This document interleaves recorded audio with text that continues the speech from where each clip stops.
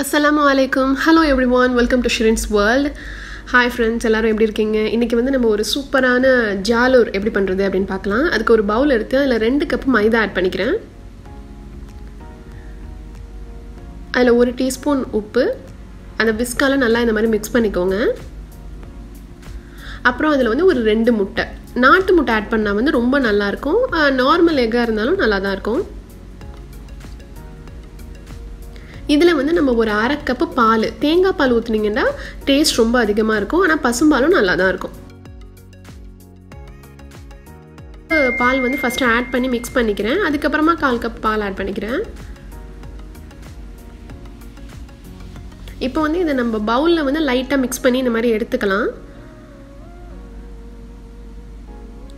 இதை வந்து நம்ம மிக்சி ஜாரில் ஊற்றி நல்லா வந்து ஒரு ஸ்மூத்தான பேட்டராக அரைச்சி எடுத்துக்கலாம். இந்த மாதிரி நல்லா ஸ்மூத்தாக இருக்கணும். கட்டி எதுவும் இல்லாமல் இருக்கணும். இப்போ வந்து இந்த ஜாலூர் பாட்டில் வந்து ஆன்லைனில் உங்களுக்கு கிடைக்கிது. அப்படி இல்லைன்னா கெச்சப் பாட்டிலில் கூட நீங்கள் இதே மாதிரி ஊற்றி பண்ணலாம். ஃபஸ்ட்டு நான் கொஞ்சமாக நெய் ஊற்றி தோசைக்கல்லை தீட்டி எடுத்துட்டேன். இப்போ வந்து நம்ம பாட்டிலில் மாவை வந்து இதில் லைட்டாக ப்ரெஸ் பண்ணிக்கிட்டு இந்த மாதிரி வீசணும். இது மாதிரி பொறுமையாக நான் உங்களுக்கு இதில் வீசி காமிக்கிறேன். இதை மாதிரி வீசும் போது நம்மளுக்கு நெட் மாதிரி அது கிடச்சிடும். கேப் இல்லாமல் வீசினா தான் வந்து நம்மளுக்கு நல்லாயிருக்கும்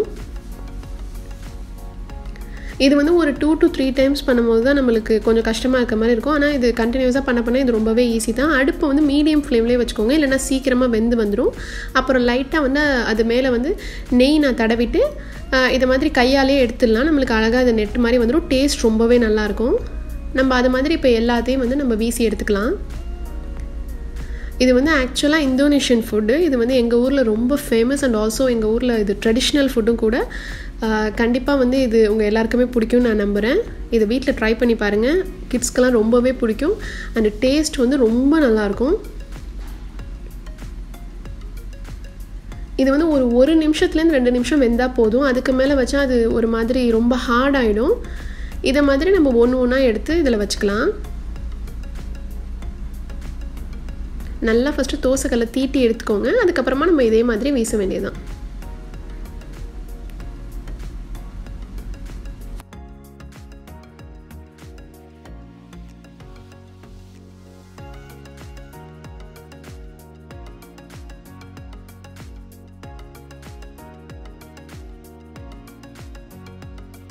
இப்போ வந்து நம்மளோட ஜாலர் வந்து சூப்பராக ரெடி ஆகிடுச்சு இதை கண்டிப்பாக வீட்டில் எல்லோரும் ட்ரை பண்ணி பாருங்கள் ஃப்ரெண்ட்ஸ் இது வந்து ரொம்ப கஷ்டம் இல்லை ஈஸி தான். கம்மியான குவான்டிட்டி செய்கிறது ரொம்பவே ஈஸி தான். அண்ட் ஆல்சோ இது டேஸ்ட் ரொம்ப நல்லாயிருக்கும்